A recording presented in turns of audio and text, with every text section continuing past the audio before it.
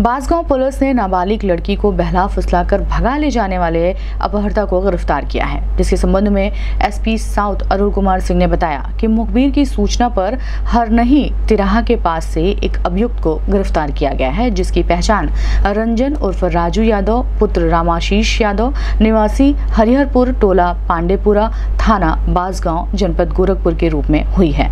बासगांव थाना प्रभारी ने बताया कि अभियुक्त के ऊपर थाने में मुकदमा पंजीकृत हुआ था, जिसको गिरफ़्तार कर जेल भेज दिया गया है। गिरफ़्तार करने वाली टीम में बांसगांव थाना प्रभारी राणा देवेंद्र प्रताप सिंह उप निरीक्षक इत्यानंद पांडे, कांस्टेबल दीपक यादव, महिला कांस्टेबल अनुराधा पांडे शामिल रही। इस संबंध में गोरखपुर न्यूज़ से दूरभाष पर बात करते हुए एसपी साउथ अरुण कुमार सिंह ने कहा।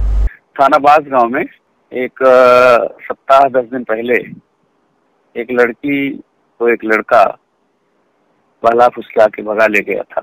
इस संबंध में एक अभियोग पंजीकृत हुआ था। आज बांसगांव पुलिस ने लड़की लड़का दोनों को बरामद कर लिया है। लड़का माननीय न्यायालय के समक्ष प्रस्तुत करके न्यायिक अभिरक्षा में जेल भेजा जा चुका है।